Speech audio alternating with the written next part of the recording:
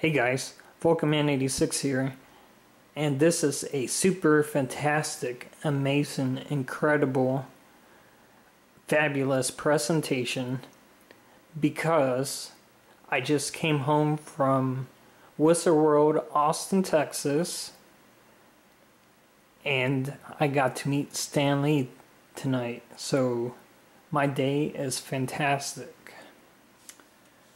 Uh, first of all, as you see here, I have the Stan Lee VIP uh, badge. I know a lot of you guys are saying, well, that's a lot of money spent. But this is worth it to me. Stan Lee is sold, he's in his early 90s, 91, 92. He's around that age, and a Sally, he might not be with us a lot longer, and I know he's been canceling a lot of shows, and this man is one of my greatest heroes because of all the cool uh, comic themes he's done for us and characters. And the man himself is a great character, and he is a living legend. So the price of this is really worth it for me. Um, I still have my wristband on as you can see. Uh, I'm not supposed to take this off uh, technically if I want to go again tomorrow and Sunday so that's why I still have it on. Uh, that big photo you see actually came in the Stan Lee VIP experience uh, goodie bag that they gave us. Um, let me tell you about the Stan Lee experience. I got to meet him and I almost missed his photo op because I was in line to see Sean Patrick Flanery.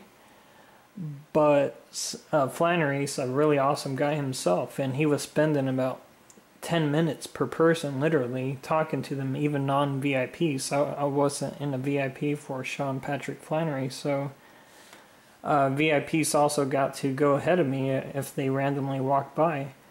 But anyways, I waited 40 minutes and I was only like six people away from Sean Patrick Flanery when I heard the last call for Stan Lee photo op on the intercom and I really didn't realize how late I was. So I went to ask one of the staff people near the photo op area where I go, and she's like, "Oh, hurry up to the back. Uh, go back there and ask those people. Uh, you might already missed your chance, uh, even if you're a VIP. And I was like, wow. But amazingly, uh, the guy was able to get me at the end of the one of the VIP lines, and I got to see him within th those next couple minutes, and that's where I got to take this really awesome photograph with him, and he actually did exchange words. I heard he doesn't exchange words at shows or say much, but he actually greeted me, asked me how I'm doing. It was incredible. And she can see I'm still dressed the same outfit, so that's pretty cool.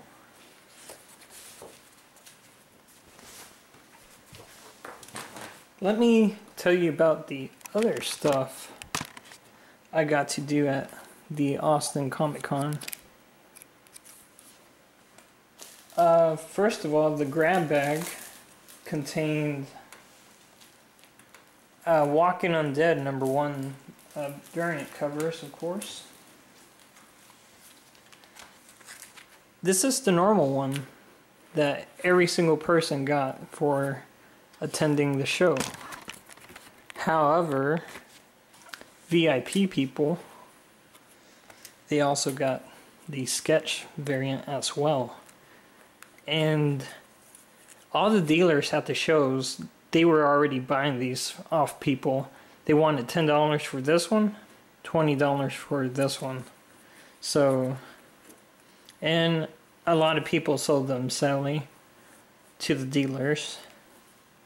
I guess they needed quick money to recuperate from their ticket ticket loss. But these these are worth holding on to. You can only get these at this particular Comic Con they're from. So it's a loss on their part. Another really amazing person I got to see. Got to see Mr. Fring. I also chatted with him.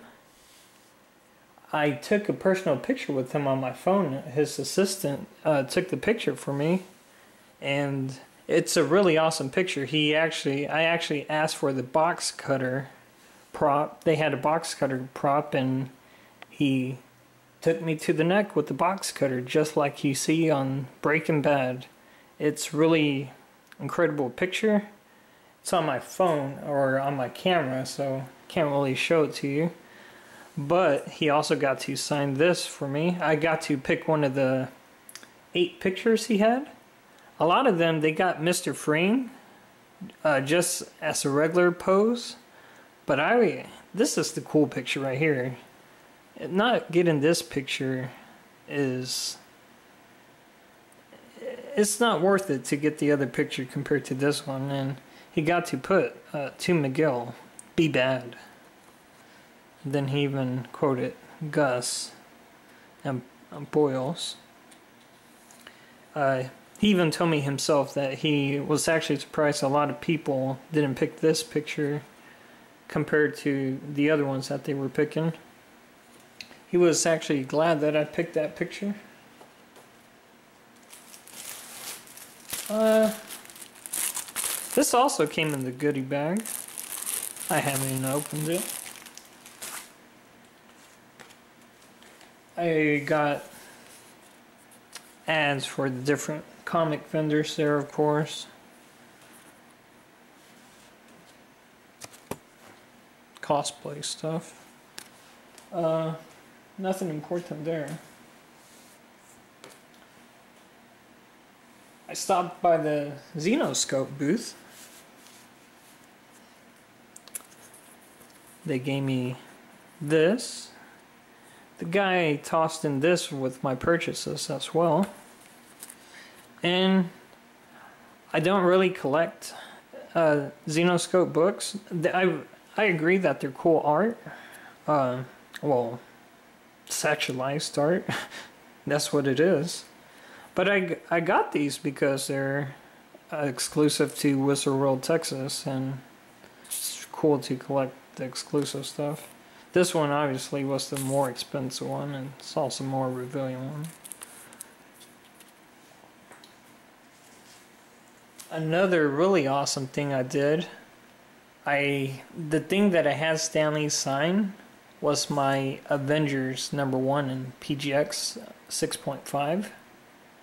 I basically spent about 40 minutes going through the process of learning how to do that because I never been to a Comic Con and especially have a CGC witness uh, to get a CGC witness to witness an important signature such as Stan Lee but I'm actually going to do a separate video on the process to do that because I actually recorded the entire process. I recorded the entire unslabbing.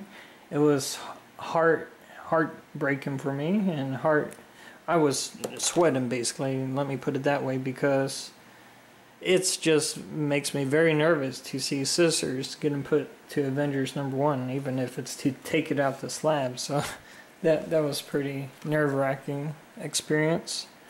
Some other random stuff. Forgot to show this in the original video, but uh, they let me keep the label from the Avengers book, so I still have uh, this as proof that I used to have that Avengers number one, and it is now being converted to CGC. Let's hope it stays the same grade or better, which is doubtful but hopeful thinking. And let's hope it's not restored. That's one big thing I'm worried about is restoration. Uh, there was so much to do and the time flew by super fast. Uh, this was my picture for Stan Lee to pick it up. they let me keep the coupon. I'm not sure if they were supposed to do that or not. Uh, anyways, let me get to the comics. I really didn't have get a chance to browse the comics, but I did pick up a, a few random issues. They're not all that high grade and stuff, but I picked up a Tales a Suspense 94, which is the first MODOK. I always wanted one of these issues. It's a, it's in really bad shape. Uh, don't let the mylar deceive you. It's in really bad shape. Paid twelve dollars for it. That's why I got this. They had another copy, brilliant copy. They wanted 150, but I I want to save up for a bigger, higher price book. They had a X Men number uh, four that I was signing, so who knows? I might go back tomorrow and get that if it's still there. Uh, also, another one I was signing was the Daredevil number one. Uh, in fine plus condition that the price wasn't bad. There was also a CGC X Men 5.0. They wanted 3,300 for that. Um, that's uh, that's a little too much for me to afford right now, though. Uh, the other book, Avengers number eight. First Kang the Conqueror. I always wanted this book. I've, I've been looking for a high grade book, but believe it or not, these are hard to come by with my experience of searching for them. This is a decent grade, but it's not the 9.0 grade range that I wanted for this book. Um, I paid $75 for this book. I I think it was a decent price. Uh, there is some tear there. Not sure if uh,